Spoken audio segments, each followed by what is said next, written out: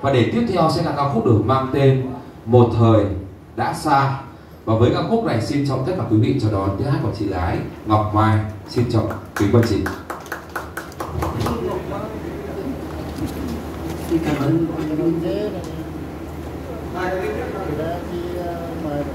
kính chào các em anh ơi có một khách để sắp xếp giúp em nhé